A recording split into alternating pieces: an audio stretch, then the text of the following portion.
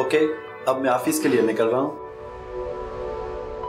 और मेरी वापसी कुछ लेट होगी। कोई काम है? एक दोस्त है उससे कई दिनों से मुलाकात नहीं हुई। है उसके पास जाऊँगा। मैं भी आज से दोबारा ऑफ़िस ज्वाइन कर रही हूँ। अरे अभी तक तो तुम्हारी तबीयत संभली भी नहीं और तुम दोबारा ऑफ़िस ज्वाइन कर रही हो। कुछ दिनों की छुट्टी और ले लो। नहीं यार एक इंटरव्यू लेना है। कई दिन से कोशिश कर रही थी अब जाकर टाइम दिया है। अच्छा जैसे तुम बेहतर समझो। वैसे मुझे भी शाम को लेट हो जाएगी। कोई मसला नहीं अब मैं चलता हूँ। बाय ओके बाय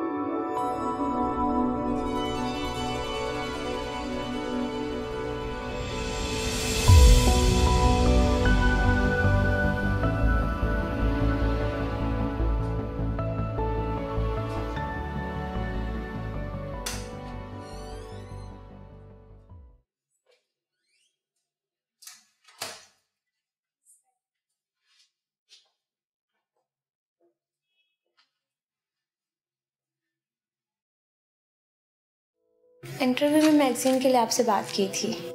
ओह तो वो तुम हो? जी। क्या पियेंगे? चाय या ड्रिंक नहीं आप तकल्लुफ ना करें। हमारे बर्तन हमारी तरह मैले नहीं होते। मेरा ये मतलब नहीं था। आने से पहले एक फ़ोन तो कर लेती। कल आपसे कंफर्म करने के बाद ज़रूरत महसूस नहीं की। अगर कोई प्रॉब्लम है तो कोई बात नहीं मैं फिर कभी आ जाऊँगी। मुझे कोई प्रॉब्लम नहीं। मैं तुम्हारी वजह से कह रही थी। अगर यहाँ कोई होता और तुम्हें देख लेता तो तुम्हें भी मेरी तरह समझता। मैं लोगों की परवाह नहीं करती। कभी मैं भी यही कहती थी।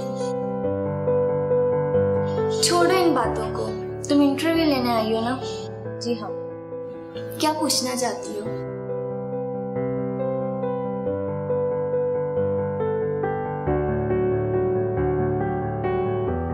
आपका असल नाम? मैं अक्सर भूल जाती हूँ कि मेरा असल नाम क्या है। बस याद रहता है तो वो नाम जिस नाम से दुनिया मुझे जानती है। आप ये काम क्यों करती हैं? क्योंकि मैं या मुझ जैसी दूसरी लड़कियाँ ये काम करने के बाद इस काबिल नहीं होती कि कोई और काम करे।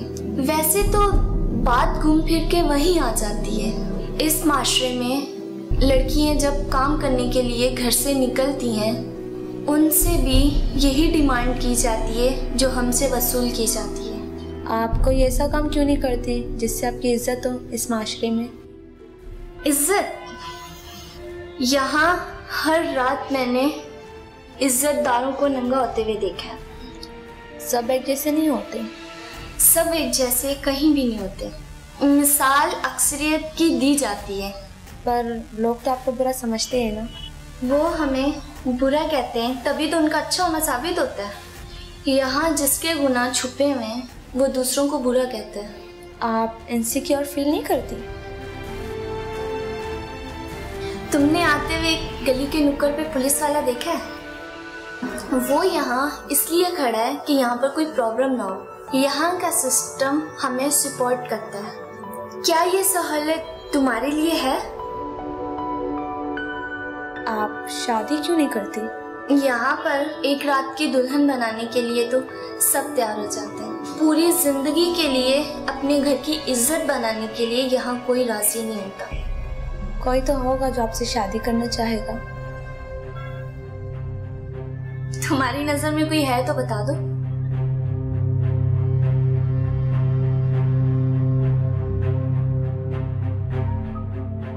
आपने घर को तो बहुत अच्छी तरह सजाया है। हमारा घर नहीं होता हमारी जगह होती है। आप इस प्रोफेशन में अपनी मर्ज़ी से आई हैं? यहाँ पर कोई भी अपनी मर्ज़ी से नहीं आता।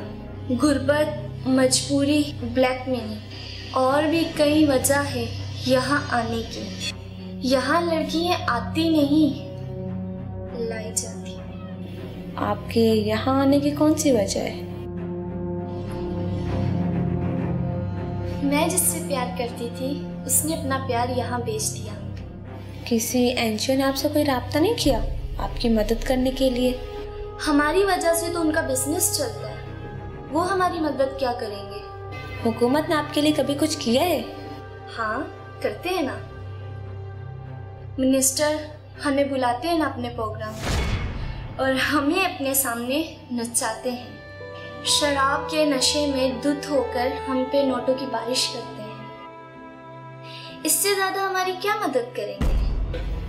किसी ने भी आपकी मदद नहीं की? नहीं कभी भी नहीं। अलबत्ता हम एक लिहाज से कई लोगों की मदद करते हैं। वो कैसे? टीवी चैनल हम पे ड्रामे बनाकर और अपनी दुकान चलाते हैं। अखबार वाले हम पर मजमून लिखकर अपना घर चलाते हैं। राइटर्स हम पे कहानी लिखकर अपना खर्चा निकालते हैं। देखो, हमारी वजह से लोगों का कितना रोज़गार चलता है।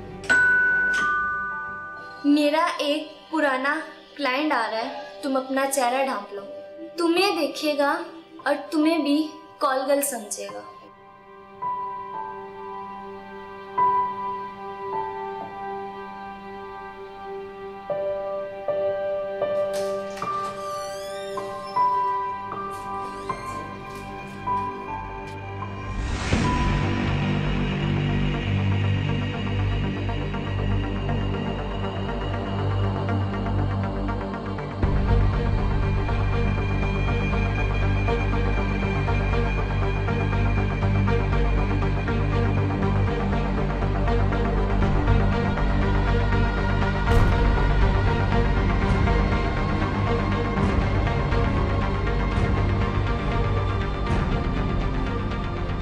कल अखबार में मेरा आर्टिकल ज़रूर पढ़ना।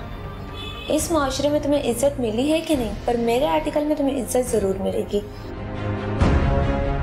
आपने सही कहा, यहाँ जो नंगा होता है, वो बाहर खुद को बड़ा इज्जतदार कहलाता है।